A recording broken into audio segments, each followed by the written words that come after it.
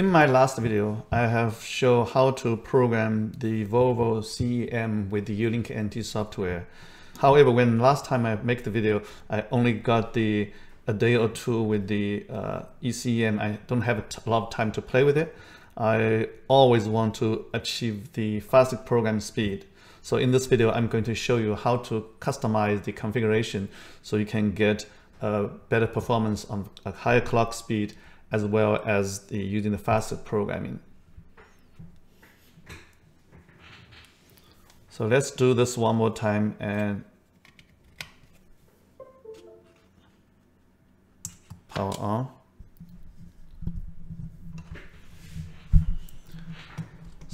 So the software comes with the 1.43a, has the definition here, which has the 4.5 megahertz clock speed and if you click here, you will see the, uh, the flash is detected and we can read it. Uh, and then we can verify it. It's okay. However, we have the option to select high speed. If I try to select the high speed when I read, it will fail. Um, the reason it fails is the configuration can be optimized as well as if we were showing the configuration. You can, you can see we were trying to, uh, first we select the speed to be one, as well as the uh, S program is on. You know, S program means we use slow program, and let's show you how the slow program works.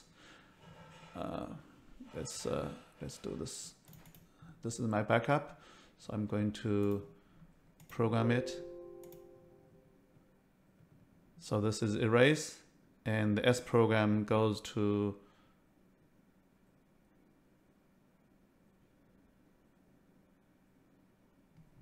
about eight seconds. Um, this is not very slow, but the mechanism of S program is different than the real fast programming. S program is just programmed through the uh, through the BDM port. The fast programming, which we have seen in the E411, it's loaded the, the data into RAM and use the RAM to program it. So in order to do this, we can create a new target. Let's say we create a new target here, and th this is from the ECU, and we can select the template, which is called Volvo CEM. I'm going to call it Volvo CEM fast. Okay, and then we can click OK. So in here, we can go to the configuration folder. In this folder, if you see, we have created one file called fast. And now we're going to edit this file. So first we see the name has been changed. Also, I see people do not like the, you know, this memory called code of flash. They can make it called 28 F400, which is the flash. Okay, the size is there. The first thing we want to do is we want to take out the speed. And the way to do this is, let's say I to take out the speed and now let's stop the software and rerun it. You will see it failed. So I'm going to detect again detect flash, but this is my backup and we will see if, oh, sorry, this is the CEM. Now I'm going to config. We select the CEM fast and uh, let's recent the file is the one so I can go to the previous folder. So let's detect one more time and let's verify it will fail. Okay, so we need to fix this thing. So first we need to go to the datasheet here. And in datasheet here, this clock synthesize register need to be think of. And in here, FA04 is D300. Let me modify this to D400. And this time we can get faster clock. So same configuration, but this time I am using the different configuration and boom, we are achieving a fast clock.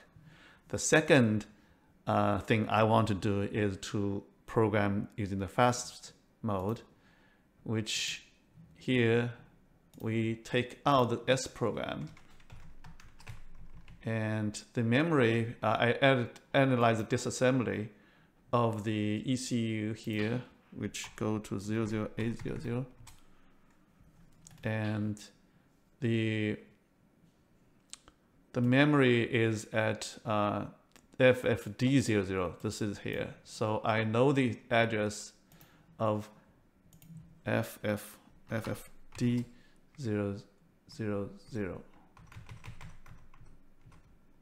So let's try to program this time and see if it works. So that now we go here and I'm going to detect. Now I'm going to program it using the fast. Okay, just, just double check. The S program is no longer there. So let's program it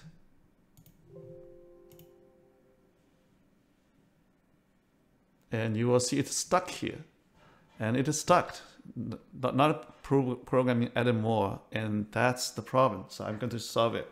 So first I power this off and remove it. And after analyze I found the reason we cannot go to the the fast mode is the um, the watchdog. There is a watchdog configuration at, at the edges of FA21. This is the watchdog. We need to disable the watchdog. So in order to do this, I add one line here.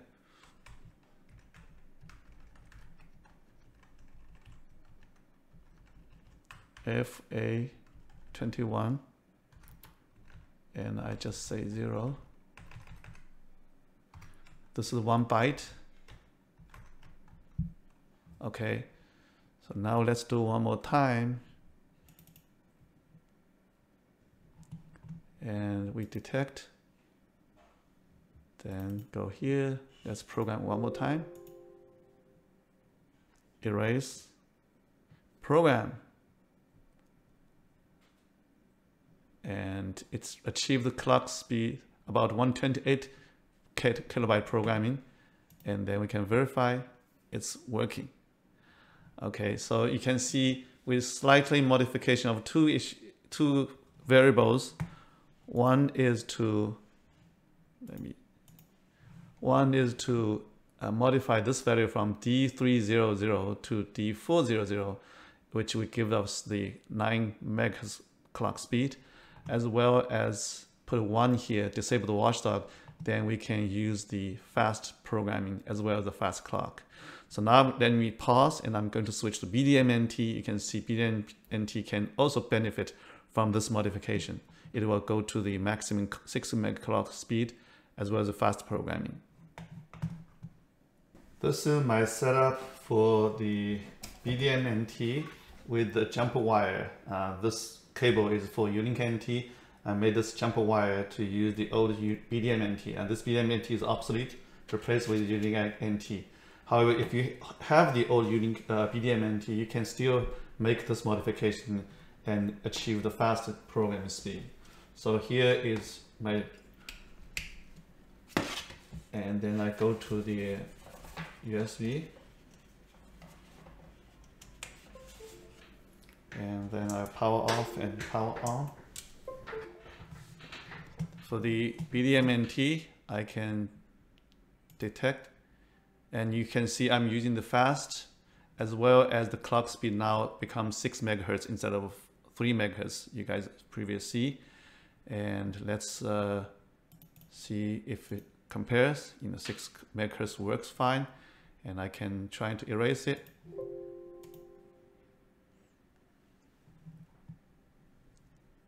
And it's obvious will fail. By the way, there's a command called blank, so you can put blank check uh, 28 F400 it's, it's blank now let's program the data back and then right and you see this is fast programming now and four seconds is programmed Uh, by the way, this configuration will be put into my next release software. Uh, you no longer need to do this modification. This video is just to show you this can be modified even with your existing uh, software and existing hardware, uh, even older version of software. If you used it, program the uh, uh, Volvo CEM, you can use the, this modification to get a faster programming.